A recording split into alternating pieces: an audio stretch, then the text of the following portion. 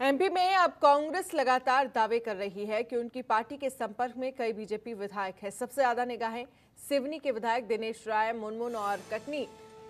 विजय राघवगढ़ के विधायक संजय पाठक पर है। स्वास्थ्य मंत्री तुलसी सिलावट ने भी दोनों विधायकों के नाम लेकर दावा किया है। वो पार्टी संपर्क में हैं और शामिल भी हो सकते हैं। संजय पाठक का नाम आने से विवाद गर्मा गया। उन्होंने इस बार में खुलकर बयान दिया और सभी चर्चाओं को खारिज कर दिया। वहीं बीजेपी विधायक संजय पाठक ने कहा कि किसी को भी चिंतित होने की ज़रूरत नहीं है। बीजेपी नेतृत्व को सबकी जानकारी है।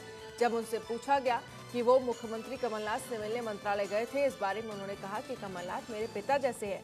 मैं अपने क्षेत्र के विकास कामों के लिए अफसरों से मुलाकात करने गया था। वो पीसी शर्मा जी बता रहे हैं? तो ये प्रश्न तो वही उसका उत्तर भी वही देंगे कि कौन कौन उनके संपर्क में है। नारायण त्रिपाठी जी की बात आपसे भी क्या संपर्क करने की कोशिश की थी कांग्रेस ने बात की होगी ये सारी अंदर की बात अगर कर देंगे तो आप राजनीति में आप आ जाओ पत्रकारिता में मैं आ जाता हूँ। अंदर की बातें थोड़ी आपसे बताई जाती तो है अंदर दूसरी बात दूसरी बात जहाँ तक अगर आप पूछ रहे हैं कि मेरे से संपर्क किसी ने पार्टी अदलने बदलने को लेकर किया तो इस प्रकार का कोई संपर्क ना किसी कांग्रेस के लोगों ने किया ना किसी नेता ने मेरी तरफ़ से आप लोग अभी निश्चिंत रहो। मैं जहाँ हूँ।